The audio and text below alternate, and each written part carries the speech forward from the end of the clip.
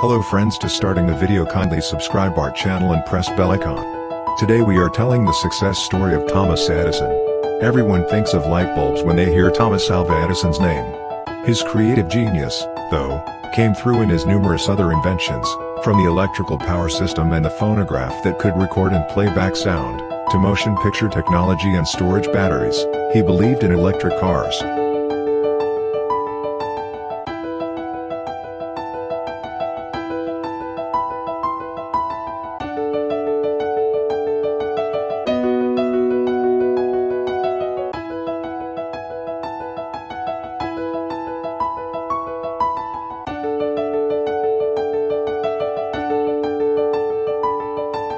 If you learn from your mistakes then you are intelligent.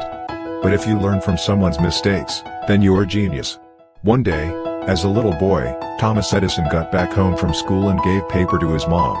He said to her, Mother my teacher gave this paper to me and revealed to me just you are to peruse it. What does it say? Her eyes filled with tears, she read the letter anyone can hear about her boy. Your son is a genius.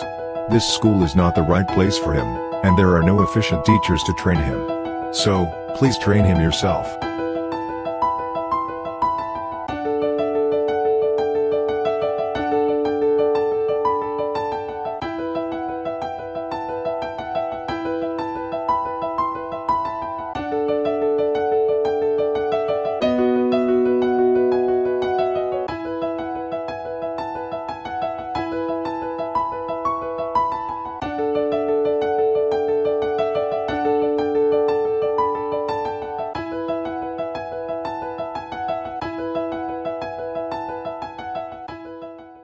Edison went to school only for three months. It was turning point for him because, he explored many things and developed interest in physics and mathematics.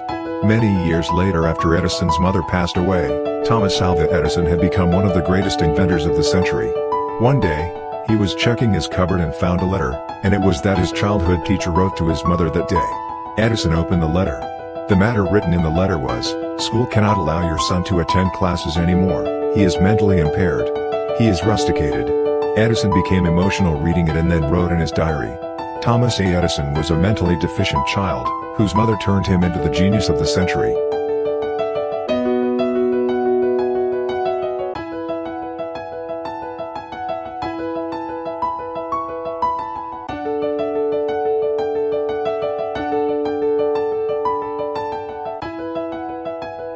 A positive word of encouragement can help change anyone's destiny.